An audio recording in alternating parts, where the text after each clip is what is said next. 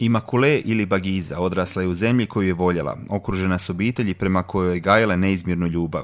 Međutim, 1994. godine, kada je Ruanda utonula u krvavi holokaust, njen je idiliči svijet bio uništen. U sto dana pobijeno je gotovo milijun ljudi nakon što je ekstremistička vlast Hutua nagnala narodnu vojsku Hutua da ubija Tucije, pripadnike manjinske etničke skupine. Imakuelina obitelj brutalno ubijena u ubilačkom ludilu, a Imakuela je spas potražila u lokalnoj crkvi, gdje se zajedno s još sedam žena sakrala u uskoj kupaonici.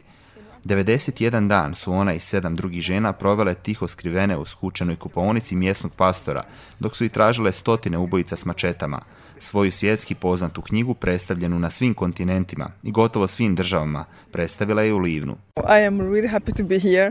Actually, I used to come Jako sam sretna ovdje, dolazim već nekoliko godina unazad u Međugorje, ali nisam bila ovdje u Livnu i zaista mi je jako lijepo, upoznala sam divne ljude, a došla sam ovdje pre, po preporuci prijatelja iz Stirling fondacije koji su smatrali da bi moja knjiga mogla ovdje mnogo da, da znači, da bi bilo dobro za ljude ovdje da, da je čuju i shvatila sam da postoji mnogo sličnosti, e, nažalost, u našoj istoriji između Ruande i, i naše zemlje ovdje, E, tako da, da sam smatrala da e, mogu da, da prenesem tu poruku da postoji nada jer vidim da su ljudi ovdje opredijeljeni za mir, za istinu, za pravdu, za ljubav Njeno dijelo je uvršteno u nastavni program desetine srednjih škola i sveučilišta, a samo Emakuela je stekla počasne doktorske diplome na nekoliko velikih svjetskih sveučilišta.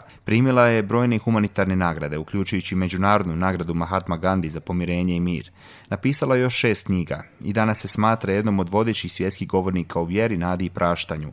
Ipak ono što ponajviše fascinira je način na koji danas govori o svom traumatičnom životnom iskustvu i pronalasku oprosta za one koji su usmrtili cijelu obitelj. You know, I went through a lot of suffering, a lot of, actually I was angry. Prošla sam kroz uh, mnogo patnje, ali sam posebno prošla kroz mnogo ljutnje jer sjedeći u tom uh, kupatilu znala sam i čula sam uh, da, da ubijaju ljude i da nas traže.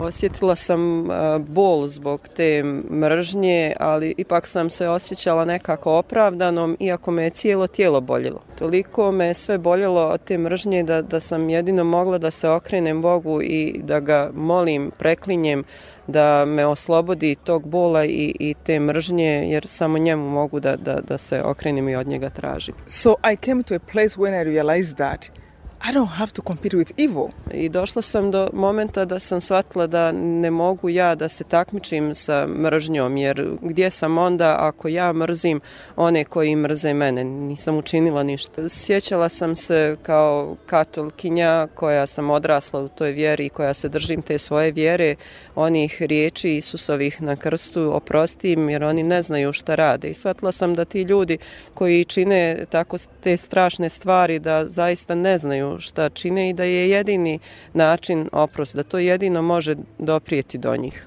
Nakon što je bila u Mostaru i predstavila knjigu u Livnu, ova svjetski poznata autorica nastavlja svoje putovanje Bosnom i Hercegovinom, a livensko toplo ljeto je po njenim riječima toliko oduševilo da se obećala vratiti sa obitelji na odmor.